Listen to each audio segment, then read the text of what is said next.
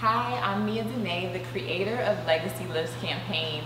And Legacy Lifts campaign is a campaign I started after my mother found my grandfather's basketball jersey.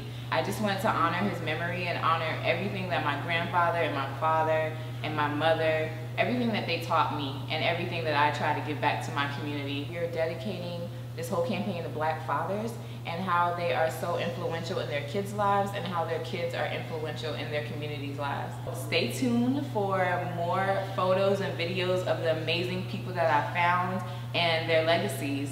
Thank you so much.